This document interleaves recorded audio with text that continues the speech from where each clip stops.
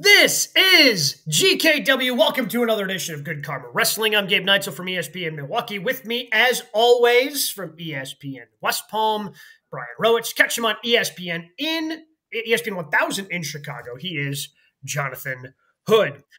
All right, boys, we've got a lot to cover this week as we continue to deal with the fallout of WrestleMania. Plus, AEW gets ready for Dynasty this weekend in St. Louis. But where we begin is the fallout from the longest story that I can remember anybody in professional wrestling telling, and that, of course, is the Bloodline story.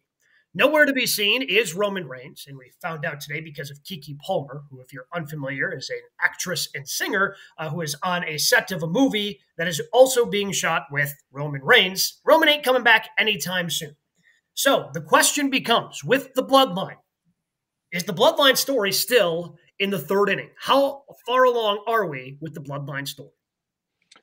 Uh, maybe not the third inning, but definitely we're in the middle innings because okay. we because we have talked about this before. As I told you guys, more Samoans are coming. It yep. took a while, right?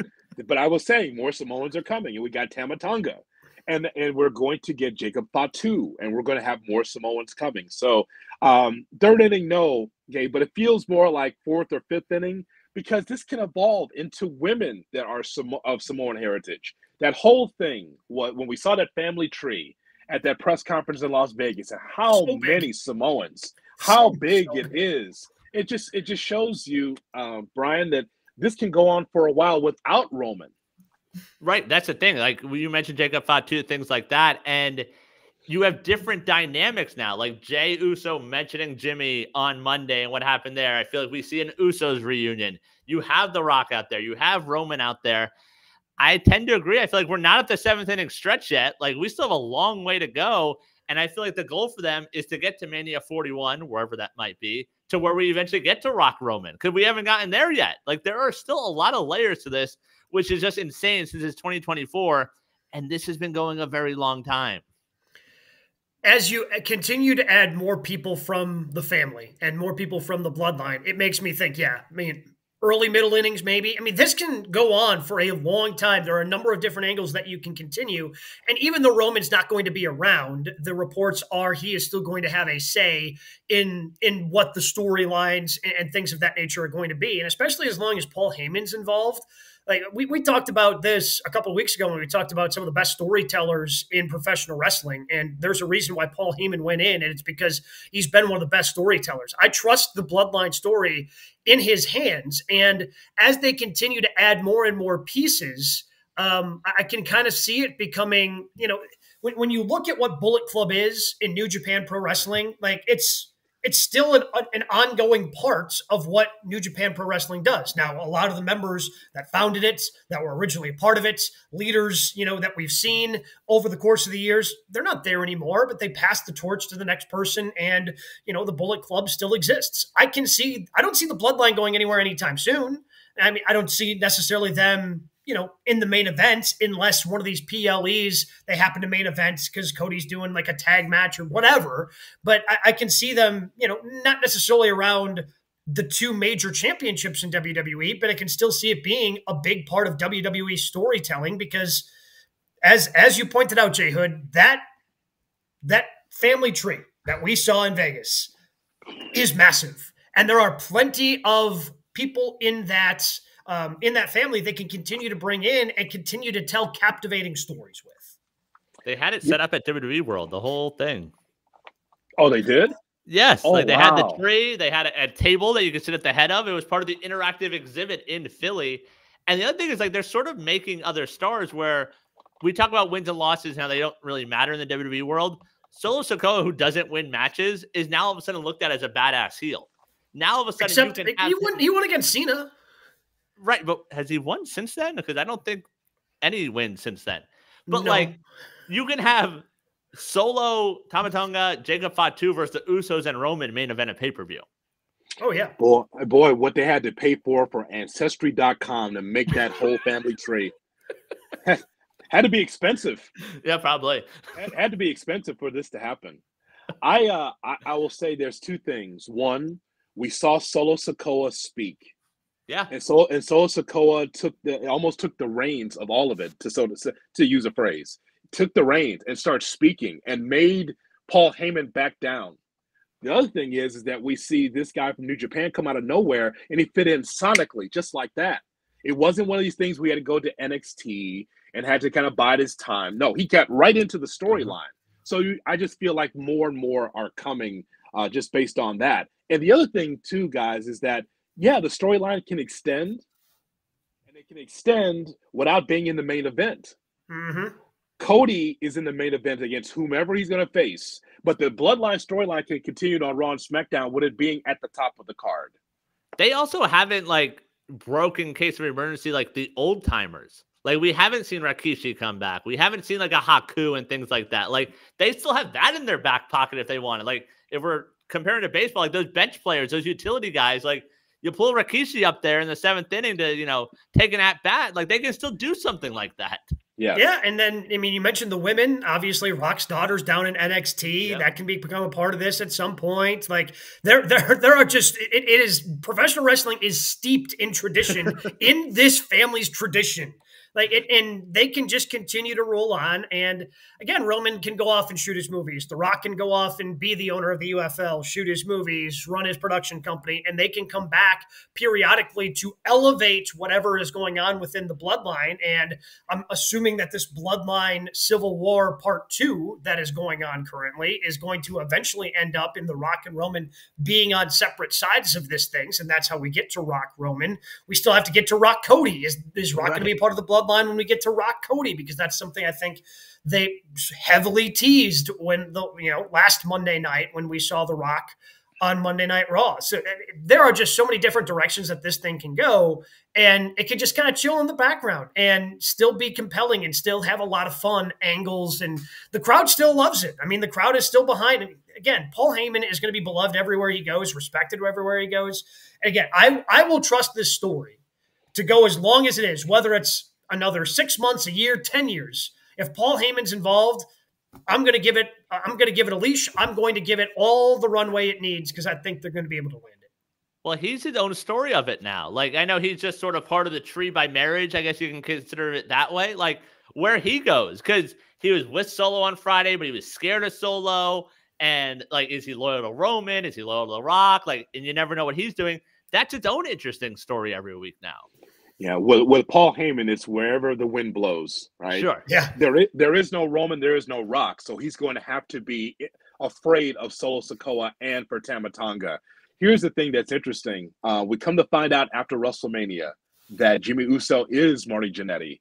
Uh, because, I mean, as, as, as great as main event Jey Uso is, and Jimmy Uso is the one that gets attacked, you know that they're going to have to come back together because Jimmy as a single, apparently, Gabe, does not work Apparently not. I mean, he's the weakest link out of all of them. Oh, by the way, while we're talking, uh, Brian, check out Cage Match of Solo Sikoa matches. I know you're wondering how many match. So he's looked up at the lights at least, if you look it up, I think 40 times against LA Knight.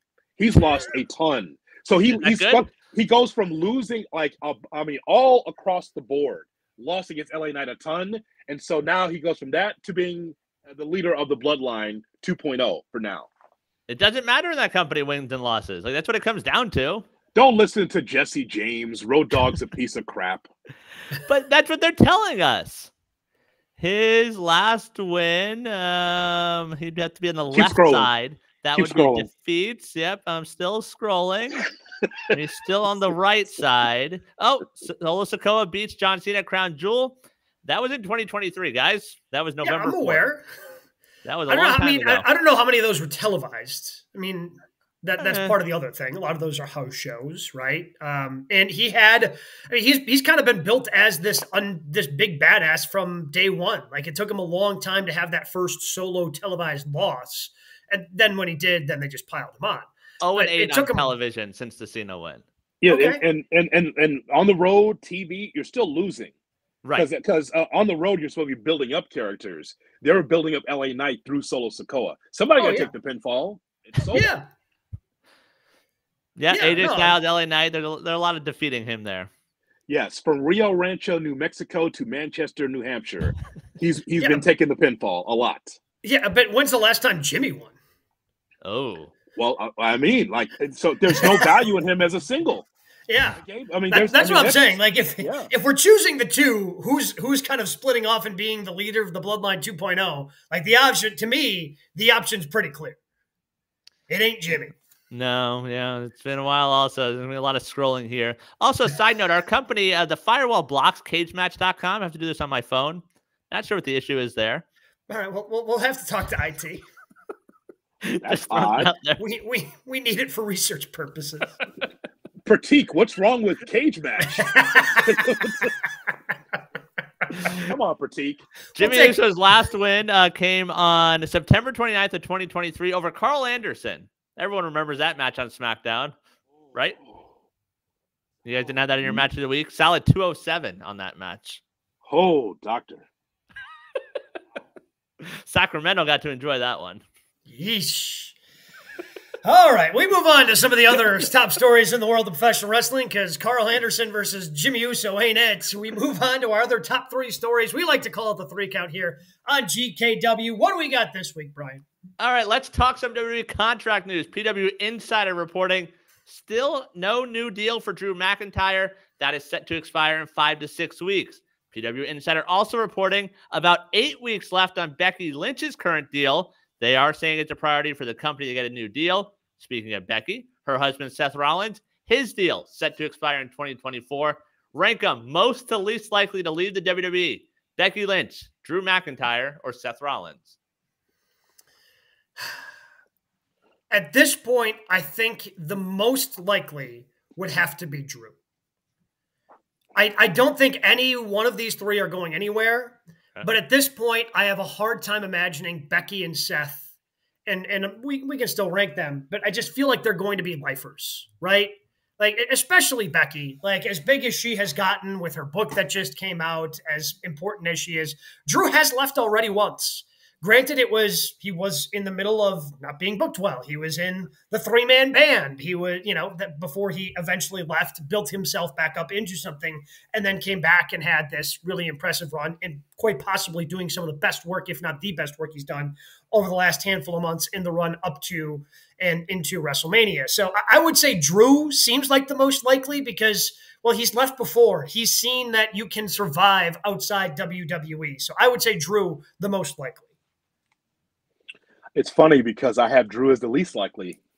Really? You know, I just think that out of the four, he's doing the best work. And I think that we've come to an agreement that Drew's doing the best work of his career as this troll, not even a heel, but as a troll.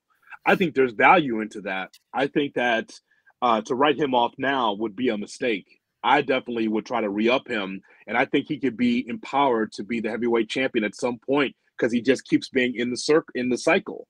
He keeps getting meaningful uh, time on TV. I have Drew as least likely. I wouldn't release him.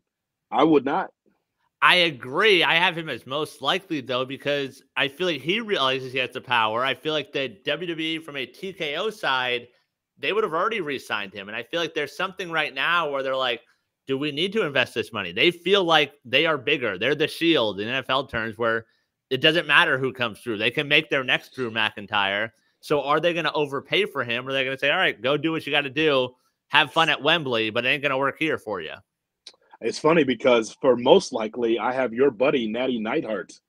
Okay. who- who You talked at WrestleMania. Could you imagine her? Could you imagine her in the Indies? Like Natty Neidhart needs to let go of WWE. Yeah. She's a, she's pretty much an um, an ambassador now, more so than Yeah. a wrestler. She and said, I know, if you check out the interview on our YouTube page, youtube.com slash at good karma wrestling, she flat out said, she's like, oh, I would love to wrestle in Japan and wrestle some of those shows because she went to some of those shows in Philly. She went to the Stardom show just because she went to Bloodsport. So she is essentially, I feel bad using the term jobber, so we'll go enhancement talent, but that's all she is in the WWE right now, she is right? Yeah. I mean that. Yeah, and you know, if, if that's what she wants to do, like I think she could be successful doing it. Like Yeah. she's good enough in the like she's done everything she can do in WWE. Like yeah, if, unless she just wants to still be there and be an ambassador, almost the way that you know um, Titus O'Neil has really become ambassador more than a wrestler. Just be that on the women's side. If that's what she wants to do, good on her. But if she want, yes, I, she would succeed and and Yes. be out with, with without a doubt. she but can spend it, more time. Yeah, go ahead. Well, I was gonna, I was just gonna move on from from Natty, but you know, it, Seth Rollins also, I would say, I wonder if with all the injuries he has, if he's going to get the money that he wants out of his next WWE deal. See, he's someone I look at as like the lifer. I have him least likely. I think Becky is more likely just from a like challenging herself standpoint.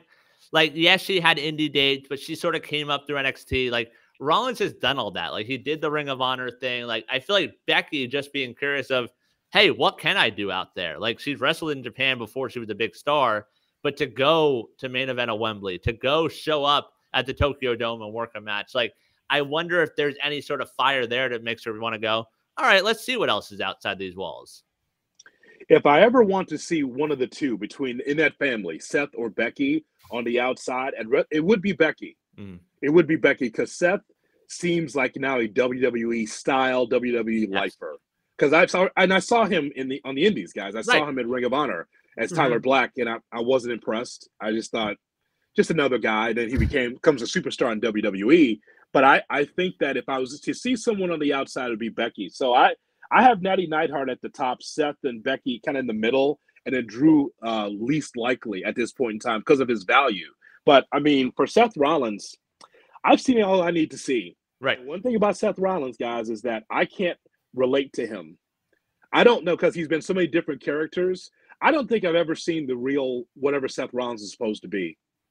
It's always it's always dressed up. It's always the dye in the hair. It's always the crazy laugh and I haven't seen outside of just the, some of the interviews a candid moment as a wrestler of Seth Rollins. I can't really relate to who he is. Yeah, I feel like the only candid stuff you see of him as a Bears fan on Sundays on yeah. social media. That's the extent of it. He oh, hates so the Bears. can relate, Jay. Yeah, he hates the Bears as a fan. That's what you know about Seth Rollins. Only difference is when the Bears lose, I still love football. All right, that's fair. but like I, I to guess... the Becky point, like her going out there, like that's exciting. Like I don't know if it's controversial to say. I think she's the best wrestler of the four horsewomen, and to see her challenge herself, like that could be really fun to see. Wow, really? You think she's the? I, I guess I haven't really thought about. I mean, I can't believe I haven't like ranked the four of them, but like when I think of the best horsewomen match of all time, I think of Sasha and sure. Bayley in NXT, right? Like, so I guess, I, yeah. I, guess I just default there of like, okay, these are the four they best to offer. And those, so I, I've, I've always naturally kind of put Bayley on the top of the list and she is, she's lost a little bit, I would say, with the knee injuries and some of the things that she's done over the years, although she showed at Mania that she still has that in her. Um, we haven't seen Mercedes recently um, because of her injuries. Obviously, same thing with, with Charlotte. Um, but yeah, I guess I, I did not have Becky as number one on my list of the horsewomen. I go in terms Becky, of best wrestlers. Yeah, in terms of sheer wrestling, I go Becky, Mercedes, Bayley, Charlotte. R.I.P. to your mentions. I'm just saying, Charlotte's a little overrated. Oh. Listen, oh, you know what? I can separate the company from Charlotte. Just because she's been a part of a hot potato title doesn't mean that she's less than now. She's sure. had classics. You know she's had classics. And by the way, one, but let's hit one moonsault ever. How about that? It's part of the repertoire. But she misses 90% of the time. Well, that that's that's the equivalent of Flair never being go to the top rope and never hitting anything. Uh, that's, yeah. that, that, that's so that, that's that's what that is. It's, it's in her DNA. Like she yes. can't help that. It's not on her. All right, I've never yes. thought about it that way. It's a good point. yes, I mean, I mean, David Flair did the same thing. He missed. Well, he just missed. uh, but but the, the point is though is like you know a Flair always misses a move, right? Yeah that's that's what it is. It's interesting. We should do that one day when we take a really good look at. I mean, hey, by the way, putting her fourth is no shame. No, all four of them can work. All four of them can work, no question. Yeah, I, I guess I would be most excited about in terms of in terms of these the, the, people hitting the free agent market i'd probably be most excited for becky because i think there are a lot of women out there you look at the aew women's division because you would just naturally assume that's kind of where she would end up um, and there are a lot of fun matches I think that she could have with a lot of different women there. Um, I guess I'd be most excited for her, but because of that, it makes me think that she's the most valuable to WWE. Like I, I think she's the least likely to go. Like I agree with both of you that I think overall we probably see all of them stay, but from a business standpoint, like there were just big free agents out there, and the WWE essentially sat out. Like they made their offer, they weren't moving above it. Tony outspent them. So, like, I do wonder if there comes a point with any of them if there's too many zeros or that number is too big to where TKO is just like, we're good. Like, we don't need individuals. We have this company, and we're going to roll with that. Hmm, I, I, think that'd be a bit of a mistake um, because that's going to set whether it's right or wrong, but they, yeah. how they acted in free agency. Like they that, that is how they acted in free agency. That yeah, that, that is how they acted in free agency for sure. But again, I, I could also see Becky walking away from wrestling. Like she's a mom now, and she's got enough charisma. If she wants to pursue something in Hollywood, I think she could do that. Like she's becoming a big enough star where if that's worth something that she wants to do, that okay, we can't, you know, both both me and dad as as their kid gets older can't both be gone Monday nights and wrestling every Monday and then hitting the house shows on weekends. Like we I, I need a little bit more flexibility so somebody's home with the kid. Like I could understand where, okay, let's pivot and do something else. And she absolutely could. I mean, she's obviously now got the best selling book. If she wanted to take a crack at Hollywood, I think she could. She could, and but Becky told us on Good Karma Wrestling that she's not in it for the championship. She wants to tell more stories. Mm-hmm. She didn't say where. Didn't say yep. where. But she says that she wants to tell more stories. I'm I'm booking right now, and and not an AEW, not an AEW. Maybe Vince's new company, his new venture in 2025. Um, Seth and Becky as a, a power couple going in. I we don't very see that very often in wrestling, but Seth and Becky together just wreaking havoc together as a couple. We get well, these all the time. You get these married couples and they're never together, like we're pretending like they're not married. Imagine those two together as you know fighting off everybody. That'd be interesting. Well, and with Matt Cardona's pec injury, there seems to be an opening for King of the Indies. Yeah. You know, you get so, those two versus Nick Gage and Macchiato. Nick Gage. Do you remember at Starcast we saw him sitting over there in the corner, and Brian says, "What do you think?" You know how Brian is. Gage. Oh yeah. He moves the head around. Well, what do you think? And it's like, no. I'm afraid of him could be a We're no for me, dog. Not, not to Game Changer Wrestling's Nick Gage. He looks like he has a knife. Probably just a pizza cutter. It's fine. Oh, no thanks. No. Ah. Oh man, what do we got? what do we got at number two this week, Brian? Ah. All right, we talked some women's wrestling Monday night. We found out Rhea Ripley vacating the women's title due to a shoulder injury, expected to miss a few months. We will crown a new champion on Monday. So, who should be the new women's champ? First and foremost, bummer that this ended up happening because, uh, again, she's not just the star of the women's division, she's one of the stars of the company. Like, uh, carrying Monday Night Raw on a very consistent basis uh, over the course of this past year, one of the most featured superstars, you know, on, other than Cody Rhodes. Like yeah. she has been on an unbelievable run, has been red hot. Everything she does, and, and again, I bring this up all the time. It's amazing how much she's cheered, considering how much her on-screen partner is booed. Right? Everybody hates Dom. Everybody loves Rhea, and like somehow still love that they're together. I, am not quite sure how we feel about it as a fan base, but it's just it's such a bummer that this ended up happening and happening not even in a match but in the backstage yeah. portion of the segment it's it's really a bummer that it happened yeah so um you know it's going to be interesting when she comes back because she's going to get a roar i oh mean they, i mean they, she, she already does but it just when you know when you go away and you come back and the crowd's just going to be so into you it's going to be great so you know it, it's funny how we've had this love hate thing with Liv Morgan since yeah. the beginning of this show, right? Uh-huh. It's so funny because it's always when she comes up, we've said, "Hey, Liv needs to have a little bit more fire," or "Liv's a champion." I don't get it. It's always been the two, right? But the one consistent thing I've told you guys is that with Liv Morgan, I just want to know a what is a Liv Morgan? What is she supposed to be? And B, show some fire.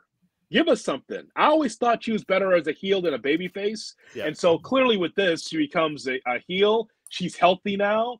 I think that that she could be right in place as a red hot heel as the women's champion because she, on purpose, inter, uh, injured uh, Rhea Ripley in that pull apart.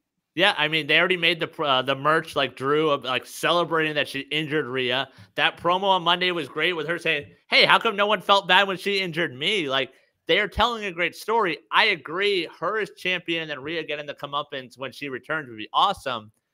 But if this is a long absence, can you keep Liv that hot as a heel for that long as champion? I think you have to try because who else like six months? Who right now on the women's yep. side is like Becky's we haven't seen Becky on TV yeah. right since since Mania. So I don't think Becky's suddenly going to come back and win it because you can put the belt on Becky whenever you want. Um, Nia Jax I know they interviewed her backstage on Monday. Eh, I'd be eh. fine with her getting a short run no? Like she was left off Mania the work she's put in recently. Yeah I, I guess the, the way that they presented Liv Morgan, I would be shocked if they went any other way than Liv Morgan because she's the only one who's, again, and, it's just kind of tough because they're in this and this happens every year in the little lull they have leading up yeah. to the draft. Like, okay, we know the draft is coming, but we have to build for the PLE as well. So trying to figure out how to balance all of this because you don't want to do anything long term in case you make a last second decision to kind of split up, the, you know, any sort of story that you're going with to try to balance things out between Raw and SmackDown. So it, the thing that makes the most sense to me right now, looking at the roster, is Liv Morgan. It's the only thing that makes sense. It's the only direction I think they can go. And if you if you can't keep Liv hot for eight months, then then so be it. But I think you have to strike while the iron is hot right now because Liv Morgan checking off names. I think you can make this last a while. Her checking off names as the champion of people on her revenge tour. I think you can keep that hot for quite a bit. Yes, and we're in the era of long title reigns. There's no yeah. more short title reign anymore, Brian. yeah. So so so what happens? Except for is, Sami is that... Zayn, that he's giving that up soon. Almost very close, very close on Monday night. Um, and I think Miz and R-Truth go with the tag titles Monday also. Um, I I think that with Liv Morgan, I think that she can really be a hottie. And besides, on one side, Bayley's a babyface. Mm-hmm. So on the other show, yeah. you got to have a, a, heel women's champion. So I think that that fits the bill for Liv Morgan. And, and by the way, I mean, whatever you think of Liv Morgan, it's instant heat. When people see her, you got rid of mommy, and people yeah. will remember that. Uh, on television, on the road, she's going to get booed heavily. And that's what you want. She wins the championship. She injures Rhea Ripley. The story's already built. So you can while while Rhea is injured, build up Liv Morgan again, but this time as a heel. Yeah, I think that'll be great. The other one I would throw out there is just take advantage of the time is Tiffany Stratton. Like we saw what she could do, and they've sort of cooled her off. She hasn't been on TV as much. Just strap the rocket to her back right now. It's like, all right, there's an opening. Let's go.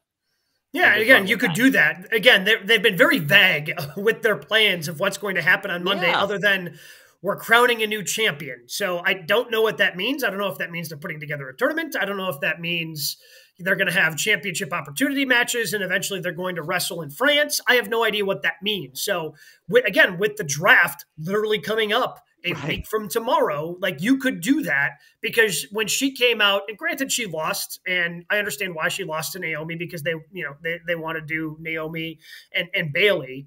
And it's too early to throw Tiffany Stratton into a match against Bayley when Bayley just became champ. Well, yes, as over as as Tiffy is, you could give it a shot if you really right. wanted to. I, I don't think she's as as crazy as this sounds because she was so incredibly hot going into WrestleMania. They just didn't have anything for her because she was a late call up into the WrestleMania game. Like as as good as she was going, Liv Morgan to me is hotter right now because of the injury angle, because of everything Jay Hood just said. With you just injured our favorite, we're going to yeah. be pissed at you for a long time. And and Tiffany is a heel, but kind of straddles the line of being a cool heel, where she also gets cheers because people love her. Right. No, that's fair. And she's hot. Yes, that is that, so, so so so women can hate her, but guys can love her. So there's going to be that mixed reaction as soon as as soon as um, she can get out of this 50-50 booking with Naomi, then you can strap that strap that rocket on her backside. You can you can do that. I um I don't like, by the way, for the record, I do not like this Bayley Naomi dynamic. I just I think that's some I think that's a miss in the Triple H era because it's like, so you're gonna give me babyface versus babyface, you're gonna make me choose? Don't do that. They're doing Don't it for do a that. filler pay per view. That's what that is. They're like, Don't right, we'll throw it out there, and then we'll just Yeah. get us over to SummerSlam. Where does Don't do that. Naomi fit in this whole bloodline thing, by the way? She does not. She's on the tree. Her name's there. Nope. Nope. We we're supposed to pretend like she's not part of it. Nope. Dwayne put her there. Wait, That you know- Here, here's here's why this is dumb, right?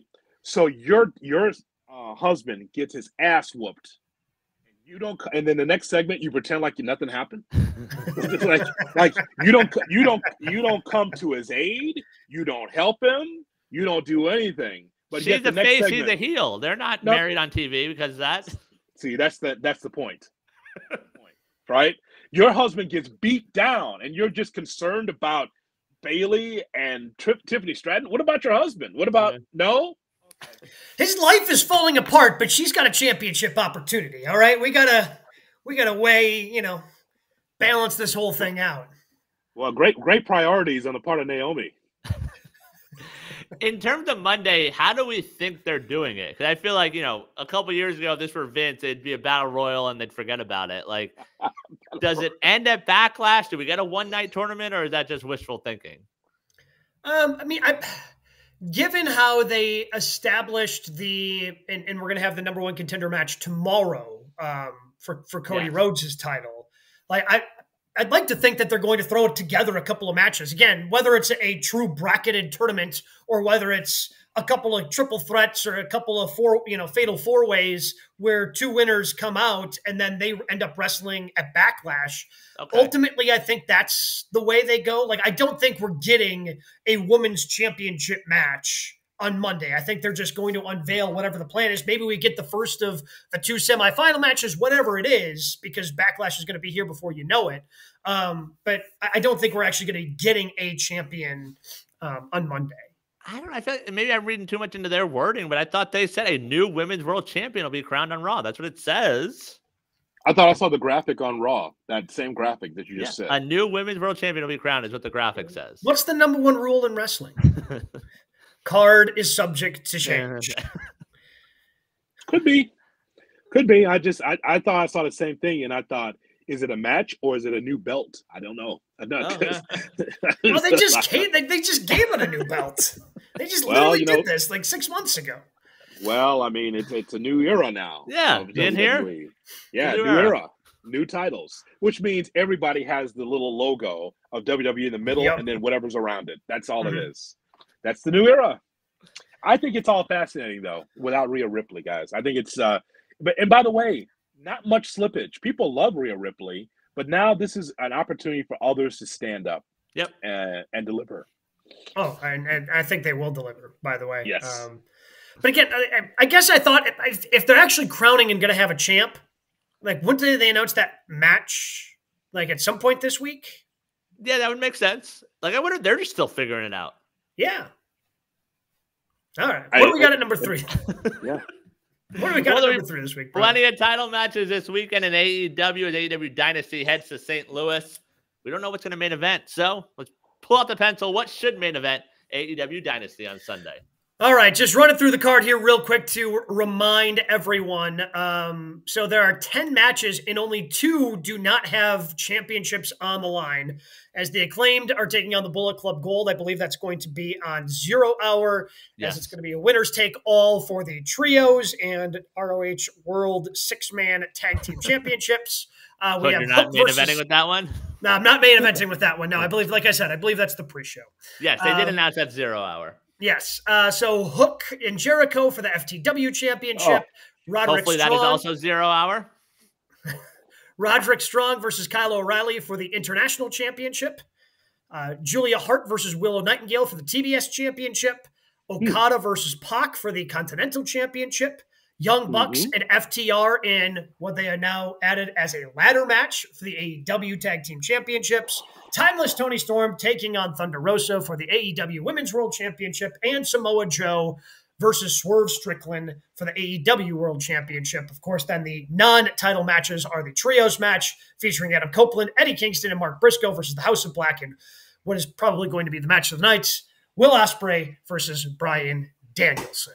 Um, uh, gentlemen, this is one of the best cards, if not the best card AEW's ever had. And I'm not being Tony. God, this card. I'm not. I'm not trying to be Tony Khan when I say that. I'm just saying, like, I mean, look at that card from top to bottom. It's so good. It is. It is un, for, for a a dynasty, not not for Wembley. Not Double for or nothing. Yeah, not not for like Arthur Ashe. I'm, I'm talking about like this is unbelievable. And this is what AEW does best. They're putting together a super card, and this is amazing. Like Okada versus Pac is just like lost in the middle of this thing. like I'm just gonna be sit- I'm gonna be sitting on my couch on Sunday night, just kind of going, all right, what? Oh, well, I guess I can't get up now. Okada's about to wrestle yeah. Pac. Okay, well, well, no, I can't. Now I've got I've got Julia like versus Willow. Justify Jericho Hook is it's a bathroom break. Like you have to give fans an opportunity to get up and go grab popcorn and go to the bathroom, and that matches that because there's nothing else in this card where you should get up. But, like, I don't want to get up for that because I love Hook, and I'm hoping he beats the sh- ever loving crap out of Jericho, so we can just get away from him at this point. Uh, Shit. it's it guys it's such a waste that hook jericho out of all well, yeah it's a it's a great card and then you get to that match the build sloppy I was so hoping sense. they'd avoid that temptation. Like they could have just not added that. You know, I mean, so Hook goes over. Now, what does that mean? Right. Hook's already over. He doesn't have to beat Chris Jericho. Like, but whatever. It's not going to spoil what I think is going to be an unbelievable card. The the main event uh, with with Joe and Swerve has so much juice in it. It's it's not for Swerve. It's for Joe to establish himself as AEW champion. I mean, Swerve's already over as the number one of the best baby faces in the company. This is for Which is Samoa Joe to establish himself. Right. well, this is this is for Joe to establish himself as champion. He looks good with the title, but we haven't seen him in the ring enough. This is going to be the best, one of the best. It, here's the thing: it is going to be the main event. It still won't be the best match on the card. Well, no, because we already know what the best match on the card is. Like, good luck to everybody else. Like, I mentioned Okada Pac. Like, that's going to be great. Like, Roderick Strong versus Kyle yes. O'Reilly is going to be not even sneaky good. We just all know it's going to be good, but it's just none of it's going to live up to Bryan Danielson versus Will Ospreay. It's just not going to live up to it. But the, again, the crazy part of your statement was six months ago, this man was threatening babies, and now he's the most over baby face in the country. he broke into another man's home and went in the child's room. That's amazing. And, but was a baby face while that too? Because people, yeah, yeah. But, like he's taking out multiple security guards at once. Like I don't even know how to describe what he did to end Dynamite last night. Yeah, well, in fairness, let me, let me, um, Rhea Ripley was taking out. Yeah, Rhea Ripley was yeah. taking out security guards on Monday Night Raw too. Not like that. Gabe, let me just tell you something. Yes, it's a banger of a card, but boy, a risky go home. Yeah. They did some stuff that you don't ever do on a go home because you don't want anyone injured before the pay per view. They did some risky shit before the show. I'm like, wow, he's doing that on Wednesday. The show's Sunday. Careful now. Yeah, I mean, Ospreay versus Claudio felt unnecessary that close to the show. You didn't need that to sell that pay per view. I, I, was surprised. They did some stuff that you know we haven't seen this since the '90s. That kind of risk being out there before pay per view. I was surprised. I so mean, I mean, to answer the question, I'm not gonna I'm not gonna complain title. about right Claudio versus Ospreay. Oh no, I'm very happy we got it. That was amazing. But uh, but, but my point is is that you risk injury. Oh, I'm glad we had the match. That's a, that's a, we are talking about how great the card is, and what I'm saying is is that hey, you could talk talk me into it. You don't have to give me a 20 minute banger to convince me. Again, not that not that we should be comparing, especially right before Mania, but like the Raw and SmackDown before Mania was basically promo after promo after promo. Couple of wrestlers who aren't on the card, promo, promo. Couple more wrestlers who aren't on the card, promo, because they wanted to protect and needed to protect everyone. So your point is well taken. To your, to answer the question, the Hood, you said the world title match is main eventing. I don't feel like it is. They've put so much into Bryan and Danielson, and Swerve and Joe has come up a little bit. I just think Swerve and Danielson, or sorry, Danielson and Ospreay, that can't be followed. So you might as well just end the night with it. No, you you know you know what you follow it with? Hook Jericho. you know, hey, you want you want to start your pay per view right? Ospreay Danielson, start it off. Follow that, bitches. Follow that. But no one will. So you'll set the bar here, and then everything else is below it the rest of the Well, night. no, but again, then you then you cleanse the palate with Hook Jericho, and bam, we're right. We, we reset and we restart. Just give them zero hour then. Let them go the full hour before the pay per view. It'll be two separate shows. Do an Just so Man other guys have a shot at match of the night. Do an Iron Man match and give Yeah. it away for free. Yes. Give everyone else a shot. Otherwise, Well- we already know what match of the night is. Give Ospreay Danielson an hour, and then, well, don't need the pay per view. So long. Still a good card. Bye. It's still Swerving Joe and Okada and Pac, House of Black. Like that, those all deliver. oh man. This is But they, I mean, I mean again, card. out, outside of what they did at Revolution, very typically, AEW. What is it safe to say? Seventy five percent of the time, the World Championship main when when the World Championship is on the card, Yeah. it main events the pay per view. Again, they've done different things on occasion. Obviously, they built Revolution around Sting and being his last match. So that had to main event, especially when he was going to win. You built it all around that. So that made sense.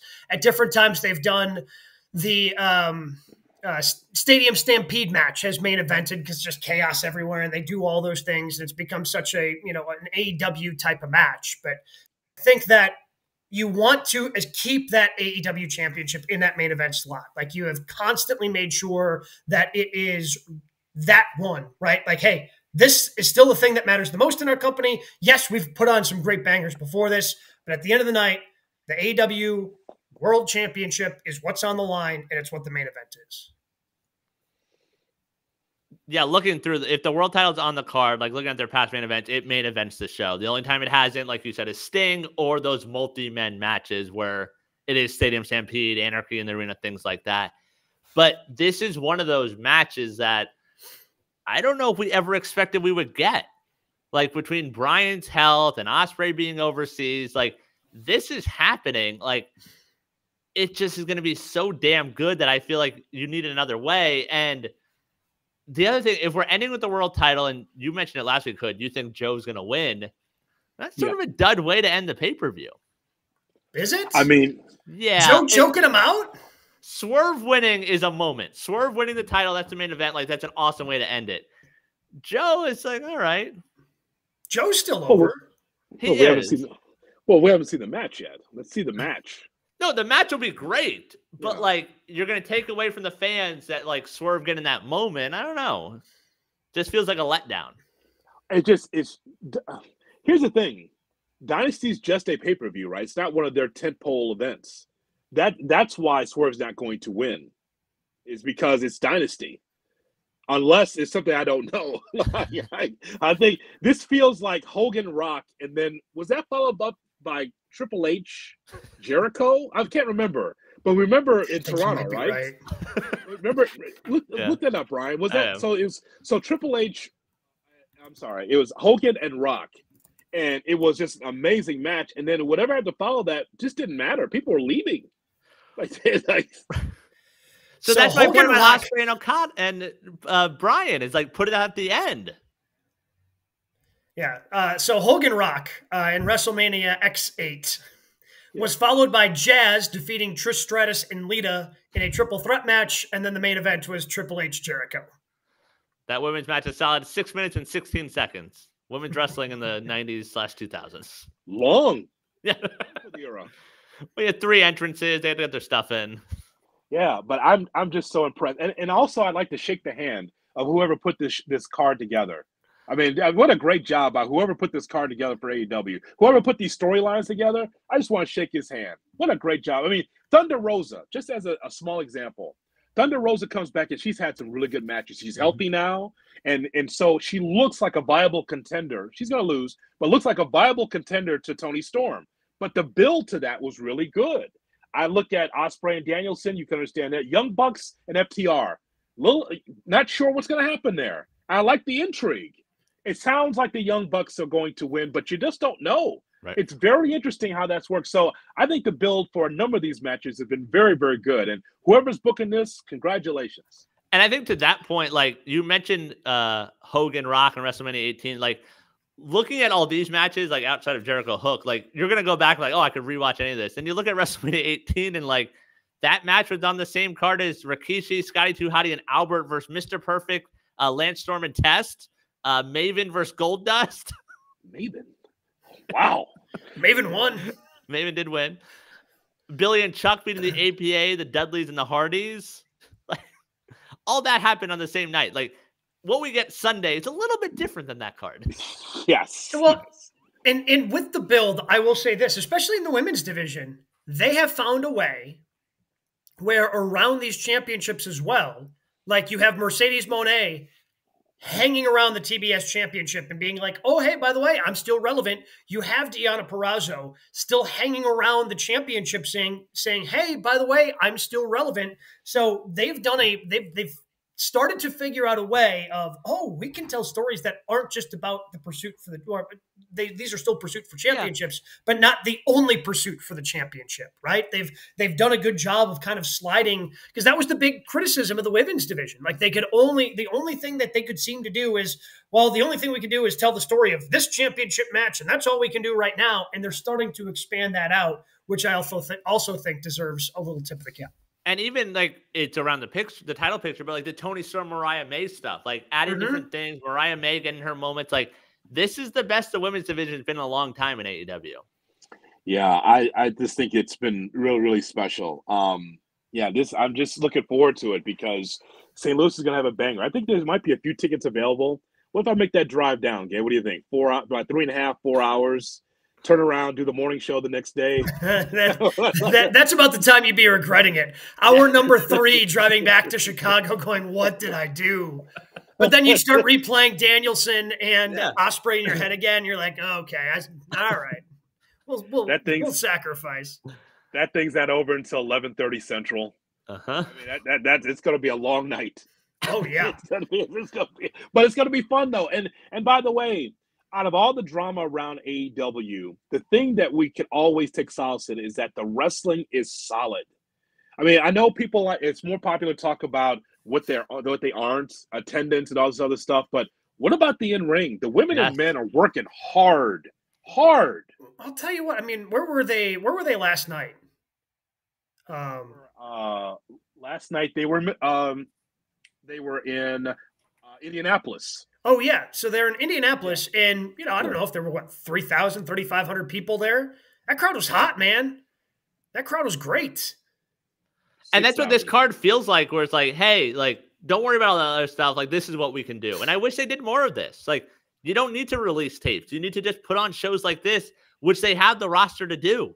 Like they can do this every pay per view and switch it up. Like they're that deep on this roster and I understand the the appeal, and, and this is probably what they still want to do because you do still want to tell stories within professional wrestling. But sure. the big criticism that has also come out of all of this, just generally motioning over here, of all the things that have happened over the last handful of weeks, like the two people in terms of listening to CM Punk and then listening to um, to Brandi Rhodes like, okay, like Cody or, or CM Punk saying, I was sold that this was an alternate to WWE. Like it wasn't going to be WWE, you know, it was just going to be something else. And when Brandi starts saying, yeah, it started becoming something we didn't think we wanted it to be, maybe trying to find a way to get back to those roots of what you were when the company started because they were hot. Yes. I think that's that's a good thing. And I feel like they're starting to kind of mix in what they were at the beginning along with again, meaningful stories that go behind the banger matches that they can put on on a random dynamite rampage or collision.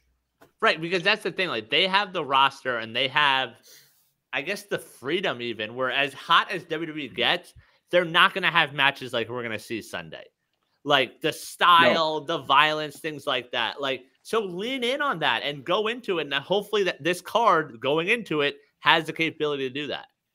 Yeah, Gabe, at the Indiana Farmers Coliseum is a little bit over 3,000 people, which which is 3,000 more than IUPUI gets for their basketball games. um, so, so if you're you're familiar with the arena, oh, I'm I'm an old Horizon League guy. you well know, I've been in that. That place is a dump. that place is a dump. But but you know how we do in the Midwest, though, man. Man, oh, it, that crowd was loud because it's like, oh, wrestling's coming into town Milwaukee, Chicago, Indianapolis, Detroit. You know how we do it, man. It was loud because they're like, yeah, we get live wrestling here, especially in this dead ass building. so, it, so it was, it was perfect. It was a great crowd, and that's what they needed. They were hot for Hook Jericho last night. That's how good of a crowd they were. We God need to see. Taz take a bump though, and I use that term very loosely. Yeah, I, I love how you know they tried to save it on commentary. Well, everybody knows he's been dealing with a knee injury for a long time. Oh, I, I yeah. did not know that, but thank you, Excalibur, for explaining why that was such an awkward fall from the human suplex yeah. machine. Let me let me translate. Dude has a Lloyd's of London contract where he can't be touched. Yeah, that it was. That's what that is. Rick Rude had one of those. It's like, hey, hey, brother, I can hit you, but you can't hit me because of the insurance. Because if they see me taking a bump, I lose my insurance. So like, uh, no, I did not know Taz had a bad knee. I don't know why he said that. like, bad neck because he yeah, broke his yeah, neck, right? Yep. Yeah. Very familiar. Thought, Very familiar with the neck issue. Yeah, Not as familiar thought, with the knee. I thought that was funny that he brought that up. Like the the, the old trick knee of Taz. like like that's funny because when he put the, the sleeper on Cody, you remember this in Jacksonville during yeah. the pandemic? He got behind. He, no knee problems then. he, he got it's Cody since then. Behind. He hurt his knee since then. Oh well. Okay. Uh, what do we got in news and notes this week, Brian? All right, we'll talk WrestleMania as we have a lot in a new location. Maybe Nick Khan, speaking at the Sports Business Journal's World Congress of Sports event, says they're not ready to announce the location for WrestleMania 41 just yet. He does say we can assume it won't be in an outdoor East Coast stadium again. Vegas is in the mix. He also added it will not go head to head with the Final Four next year. Which makes sense, starting with that statement, because before when WrestleMania was just one night and it was on Sunday, like you didn't have to worry about that. But now when it's both nights and you're going that weekend, WrestleMania night one goes head to head and those games start late. Yeah. Those games start late in the final four. So you're going almost directly head to head. Um, obviously didn't really affect much with what WWE had going on this year, but it's a big major sporting event. Why not go the next weekend? I mean, like the, the only thing that's happening the, the weekend after is the Masters and if somebody wants to watch the golf during the day, it's not like they're teeing it up with glow balls at Augusta National. Like it's not going directly head to head. People are going to be able to watch WrestleMania. So that makes sense. I'm a little worried it's not going to end up in Minneapolis and the Twin Cities, which I was hoping for. Being in Milwaukee could go up. It was going to be easy. Kind of seems like maybe Vegas is going to be the uh, the location for WrestleMania 41. Minneapolis seems more like a Survivor Series type spot. yeah, that's, that's what it sounds like to me. Yeah. Uh, but you know, uh, yeah, as Midwest guys, I think we were looking forward to that trip. Um, so, but it seems more like Atlanta, seems more like Vegas, seems more like Toronto, the the traditional places where the Final Four would go in dome stadiums. So that makes a lot of sense. I think that they looked at Philly and said, "Boy, this is ridiculous. It's 35 degrees, 40 yeah. degrees. You were there. It was chilly, uh, even with the real feel. Uh, it was cold, uh, so it's. I think they got to go back to tr- the traditional ways of doing it in a dome. And I think also Vegas is almost a redemption. Remember, they tried running like a Money in the Bank the same weekend as UFC, and ended up having to move it out of Allegiant. Like, do a Mania there. It seems like they're gearing more towards partnering with UFC, so you could probably throw a UFC fight in there that weekend as well. Just take over Vegas. Like that's where it's going to be. Makes a ton of sense. Yep. NBC News with an article on what Vince McMahon has been up to recently. Some highlights from it. John Cena and Dwayne Johnson still in touch with Vince. Both of them, no comment in the article. Triple H and Stephanie do not talk to him about, quote, company matters. Vince, also in the article, through a lawyer, continues to deny all allegations against him. Whew. Uh, also, uh, non-compete, so I guess he could start his own wrestling company. Um, yeah. You know, coming up here anytime soon. Maybe that's what he's selling off all of his TKO stock for. I, which actually, I mean, that's that's more of a joke. I can't imagine him trying to do that at his age, but he's also Vince McMahon, so. I feel like the clientele and the people that would then follow him is uh, control your narrative? Is that still a thing? I feel like that company oh, oh, oh, so you so you're saying so you're saying aop and ellering will yeah. be there. Is that what you're saying? It feels like it feels like that you know cup of tea would be his department. I would say that with as many free agent wrestlers that are out there if vince started something he's got the money they would follow Yeah, absolutely. Even though we know everything about Vince, even with his dogs and cats that he travels with now, uh, as we read in the article, traveling with dogs and cats and bringing them to friends. I but as we talked about, Gabe, Gabe, Vince is only can do one. He's only done one thing, and that's professional wrestling. He's failed in everything else. Mm-hmm. World Bodybuilding Federation and um, XFL. XFL. XFL twice. Uh, he, he's trying to be he, a promoter for boxing in the past. That was way in the 80s. He's tried a lot of different things, but the one thing he can do is wrestling. And I think that that's what he's going to continue to try to build somehow, some way. And it's it's really unfortunate, but here's a guy here that still has a lot of litigation pending. Hopefully, uh, if it's all true, he will be under the jail. Some injury news. Sean Ross Sapp reports Adam Cole is, quote, not very close to returning to the ring. He has been taken off the road as the travel was actually slowing down his rehab process. In the WWE, Big E providing a neck update two years after suffering the injury. He said things are unchanged, not cleared, may never be, but he is, quote, free of pain, immensely happy, and otherwise healthy. Life is good. Love to hear that for Big E. Um, bummed, obviously, about the, you know, maybe he's never cleared, but the fact that he is healthy enough that he feels great, that's huge because that was a really scary injury when it happened. Um, do I, I hope for something similar that we've seen with Saraya and Adam Copeland. Not saying that he goes to AEW, but they were able to come back from obviously tough neck injuries and eventually wrestle again. I'm, I'm hoping that's the case for him if he wants to do it. If he doesn't, like Biggie, you've given us a lot, man, over the years, and I'm just glad that you you are healthy right now um, in terms of that. For for Adam Cole, man, that sucks because again, everything with Undisputed Kingdom just kind of feels empty right now. Mm-hmm. And that's because he was the heart and soul of that, clearly, and he just can't be around. I guess when it comes to Adam Cole, we're just looking for big comebacks, right? We talked we talked earlier about Rhea Ripley when she returns. Oh man, what that's going to be like. Adam Cole the same way. When he's healthy, it's going to be great. Remember, we've been away. We, we've um, uh, dealt with Adam Cole being away for a while before he came to AEW, um, and so it's just good for him to be able to go through the rehab process. Because how can we miss him if he doesn't go away? Right. And so hopefully that'll work out for Big E Gabe, I mean, it's you know he's done so much that just being around the WWE as an announcer that works for me. I know that he's like the big voice of the New Day for many years, but you know, it's just unfortunate what he's going through right now. He doesn't have to come back in the ring to satisfy me. He's done a ton already in his career. Finally, in news and notes, 66 year old Onita is ready for another Japanese death match in August. He has issued a challenge. Either of you gentlemen want to guess who he's challenging in August in Japan? Uh, uh, Eddie Kingston. Not quite. A little too young there, Hood. He did this from the graveyard. He's challenging 83 year old Dory Funk Jr. August in Japan. you there? You gonna head to Japan for that? I will do our social media for the that matchup. The octogenarian death match. Dory can go, bro. Eddie will be there front row. Don't worry. Oh, I don't think we were worried about that. Maybe, maybe we just oh become God. friends with Eddie and he can do the work for us. oh my God, Dory Funk. Wow, I know he's still getting in the ring uh, for his school and everything. All he's gonna do is just these boring forearm smashes. That's what he's gonna do. The bolo. That's all he's gonna do. I mean, it, it, it just oh my God, Meltzer will be there front row yeah. to check it out. Dave 83 years old, so he'll uh, be older than Flair in that match. Oh my god! Sold out, brother. Sold yeah. out. Uh huh.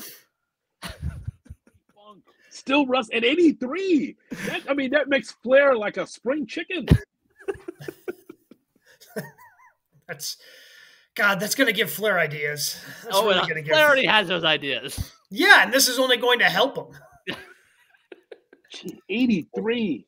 What you uh, guys? Uh, I don't know when his birthday is. I forgot to look that up. Like he might be 84 by August. Oh my god! So you know, look forward to that in August in Japan. What'd you guys yeah. have as your actual matches of the week? I guess Not we can look one? forward to that one in August, making yeah. the list. But well, let's focus on this week.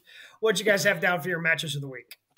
Well, Gabe, I'll throw out the Ospreay versus Claudio. I'll throw okay. that out as the first card. Yeah, I mean, well, All right. Again, me- there's the Ospreay cross that category, and then there's everyone list. else.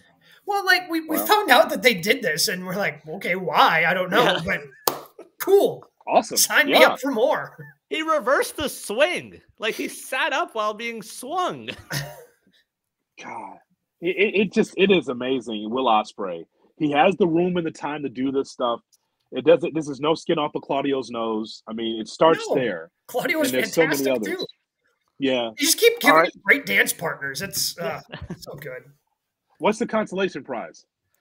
Mm, Uh, so I enjoyed. I thought the Styles KO and uh, Rey Mysterio triple threat on SmackDown from last Friday was fantastic. The ending was spectacular. Mhm. Like the way that AJ hit the uh, Avalanche Styles clash and the way they rolled off of KO right into the pin, I thought was great. Um, I'd even rewind in that match, going back to the KO entrance. Like him breaking the fourth wall, like, hey, we've been shooting these really cool entrances. I want to do one of those. and then knocking the punk shirt off, like that was awesome. walking around with the Tigers and then gets back there and tells Bruce to hit his music. I know. I mean, that's completely Bruce and like Jamie Noble's back there. Like, Jamie, like, Jamie Noble is, is that you, Jamie, back there? What's up, Jamie? Bruce, hit the music. Spend my days. It's, it's funny. oh man! And by the way, I know you saw this too. He does hold up the Tigers belt. Thought he's gonna get a pop. It was more like uh, Yeah. Tigers. Uh, Uh, uh, uh. Uh, Um, Uh, another one but- I throw out there from Saturday: Toni Storm versus Zumi.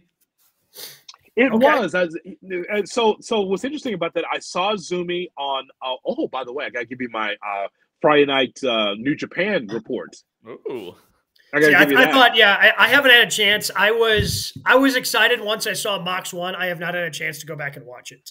No, I'm here for you. Don't worry about it. I got. I gotta give you that I too. 'cause forgot I that gotta was tell you, last week.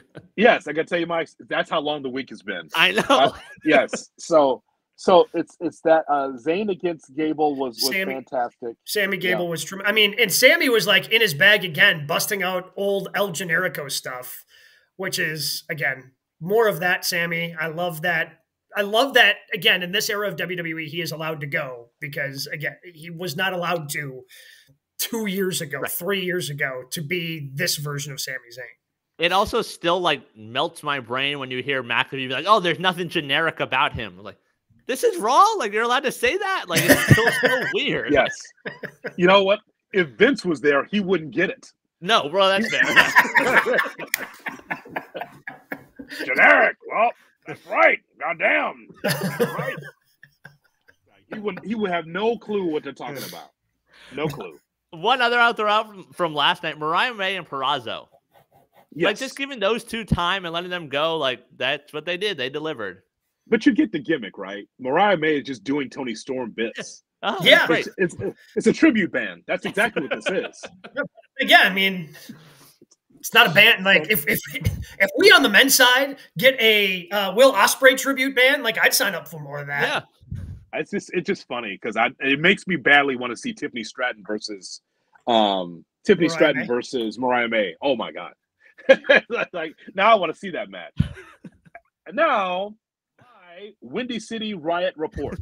All right. Ah, So the home of the DePaul Blue Demons in the Chicago Sky, uh, Wintrust Arena. I get there, and as I go through the doors, they scan my ticket. Oh, cry me a river. Oh, cry me a river. It's on the concourse. It's in the bathroom. It's at the beer line. It's in the arena. People could not wait to see Jack Perry. That I, I mean, I, this is a, a card that has Jon Moxley on it uh you know this is a card that's got all these great superstars and but yet we get jack perry people cannot wait to see jack perry in uh, come into the ring and let me tell you something you talk about heat a mixed reaction hometown. yes if you go to our youtube i, I, I shot some video guys uh, of the mixed reaction a john cena reaction for jack perry he comes out with the chicago flag on his shoulders and just is like there's cheers and there's boos. There's FCM Punk chants in Chicago. Half the crowd. The other crowd, the other crowd is like, you know, either saying, uh, "We want real glass, we want real glass," or "Cry me a river." and the, the react for the middle of the card, by the way, and he lost. All that reaction, and and Jack Perry lost his match. Are you? I mean, it was it was unbelievable. Are you willing to say releasing the tapes was a good idea? Uh, no. Bringing it Because back up, keeping Well, it we'll top see. of mind if he shows up Sunday. We'll see how he gets the reaction on Sunday. Like Okay. okay. now, so right now, releasing the tapes has done better business Yeah. for two other companies. That's fair. Yeah. Yeah. When he Yeah. starts, when Tony starts making money off of releasing the tapes, then and only then will I say, "Hey, maybe this was a good idea." All right. Yeah, Yeah. Now, did it do good for New Japan business? Yes. But Tony's not in New Japan business. It's got to be for Right. AEW business. Correct. All right. All right. So all of this with Jack Perry, and he kept and he was trolling the audience. He put Shota Umino in a front face lock, like we saw in the back at Wembley. Got a reaction, right? Oh, the front face lock, right? Like, and, and, and he did the he tried to do the the CM Punk finisher Oh, the GTS. to go to sleep, did that, got a reaction, right? All of this, everything, because he knew that if he did CM Punk stuff, that he'd get a, a reaction. It was fantastic. This was the sixth match of 11, and he got the biggest reaction. Middle of the card, Gabe. Wow. Middle of the card. And so, your guy, Jon Moxley, I'm happy for, for you because your guy won the IWGP championship against Naito. Um, not a Naito fan, but I was happy for Moxley. Uh, and he and he, boy, you talk about a roar for him. Comes to the crowd, has a good match with Naito, wins the championship. That was awesome. Uh, here's one for you that should be in the uh, the wrestling newsletters. Zack Sabre Jr. defeats Matt Riddle for the World Television Championship. Right? Zack Sabre Jr. wins. Matt Riddle takes the pinfall, rolls out of the ring, gives a thumbs up to the to the audience, and then leaves. Doesn't sell anything. Didn't sell anything. Couldn't care less. He was At least like, he gave a "What?" thumbs up. What else do you He want? from goes. I mean, but he's you lose. How about a little? Am I hurt? Nope, bro, and leaves. That was the shits. Like, yeah, that that was something, man. That was something. So overall, uh, uh, Chicago's own Mustafa Ali with another a great matchup. He was great. Um, you know, but ultimately, you get the Bullet Club. A big reaction for Eddie Kingston. Of course, he brings in Homicide and Jeff Cobb, our buddy Jeff Cobb Jeff was on the card as well. So you know, Bullet Club comes in the new uh, Bullet Club. They win their matchup. That match is all over the place. Riot rules all over the place. So I mean, a really good card for a Friday night. Yeah, I think they've had success with that. This is the third, fourth year they've done that in Chicago, Windy City Riot. They've had a lot of success there. Like a couple, they're going to be in DC. They're just trying Mhm. like the North American spots. But I mean, and by the way, I told my buddy who went with me, I was like, hey, they got the Japanese ring announcer, so don't ask me who's in the ring because it, it ain't gonna be in English. I'm just saying, like they didn't bring like they usually have like the, the Japanese and the English. No, they just brought the Japanese guy. So I don't, I don't look at the screen because I can't help you. Uh, I'm excited to see what Mox does as the uh, New Japan Pro Wrestling champ because because he's on a very short list. Uh, in fact, he's the only person to now hold the WWE, AEW, and New Japan Pro Wrestling World Championships. Yes, and that's going to be a topic at some point because my God, I mean, sonically, he's been able to do all this at the top as champion. It's impressive. So six thousand people against SmackDown. By the way, it shows you how hot wrestling is. Six thousand people. I think that seats eight or nine. Six Mm-hmm. people for New Japan against SmackDown the same night. As we're looking at our phone, Tama Tonga. It's all hold it up. Tonga's there. Like while we're watching New Japan, it was just a crazy night. It was great. Check out some of those videos that Jay Hood shot uh, on our YouTube page. Some of the great videos that uh, Brian shot from WrestleMania, all available on our YouTube page. Comment, subscribe, youtube.com slash at Good Karma Wrestling. And a huge thank you to our fan base as we are now up over 1,000 subscribers to our page, something that means a lot to us. So thank you so much to all the fans out there for subscribing to our page, taking a look at our content. Hopefully, we're uh, providing some entertaining fun around the world of professional wrestling with our conversations every Thursday as well.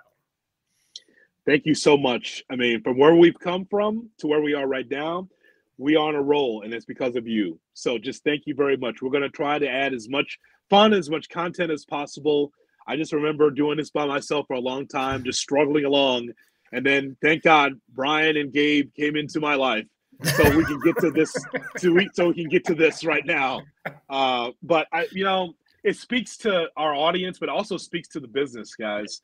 Post, yeah. post Vince, Brian, we're post Vince and like everybody eats, right? From WrestleMania to AEW to TNA to New Japan and all the indies in between. We're going to try to go to as many events as possible because we know the product across the board is just hot. You said late last year that business was going to be booming in 24. We're happy to ride that wave and uh, talk about it every week. We're going to be talking about it again right here next week. Catch us.